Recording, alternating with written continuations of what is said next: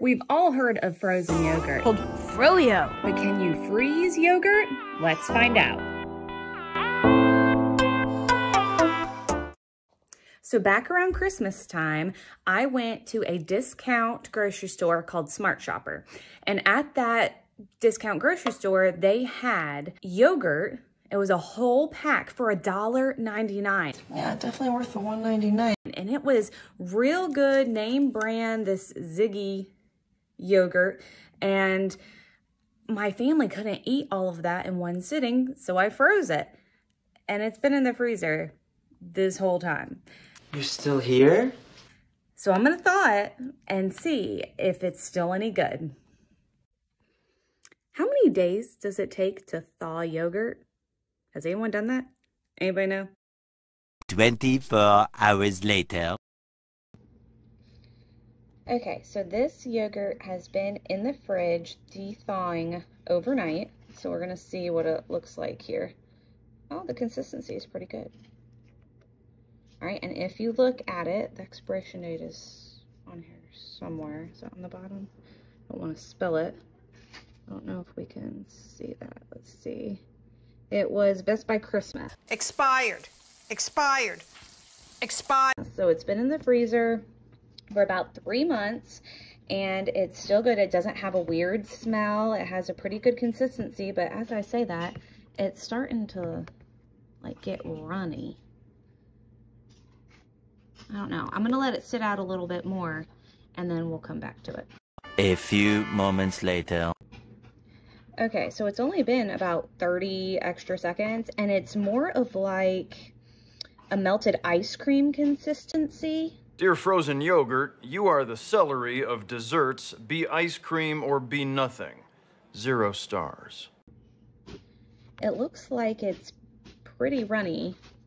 Um, so I probably wouldn't freeze this for long term. Like we ate it, some of it in January, it was absolutely fine. So my advice is if you are going to freeze yogurt, do it for the short term, not the long term. Because this is, I believe, a Greek style yogurt and it just did not freeze well. But I am not going to let this go to waste. I'm going to use this instead of milk inside of pancakes and then they'll have a nice strawberry flavor. Okay, so we're here in my kitchen and I have some pancake mix and I got this Kodiak Power Pancake Waffle and Pancake Mix at my Sam's Club and it's usually about $12, $13 and my Sam's Club last year around Christmas time or before that they had it on sale for $4 so I believe I bought 10 and so I stocked up on that. So that should get me through the year. Got my bowl got my griddle and we're ready to make pancakes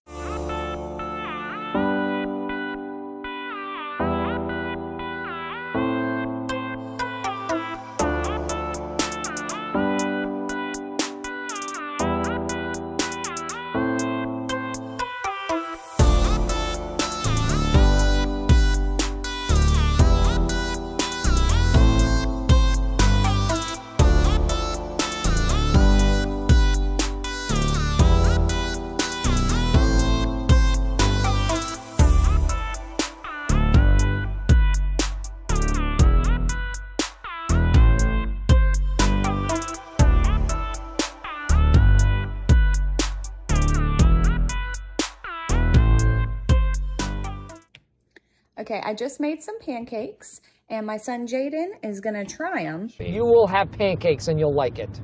Is that hot? He's gonna try them and see how they taste. Okay, wait for it to cool down.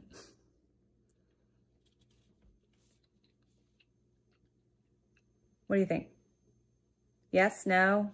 What do you think? Yes. Yes? You wanna put a, a thumbs up in the camera over here? Nope. No? Is it a good pancake? What does it taste like? Hard to describe.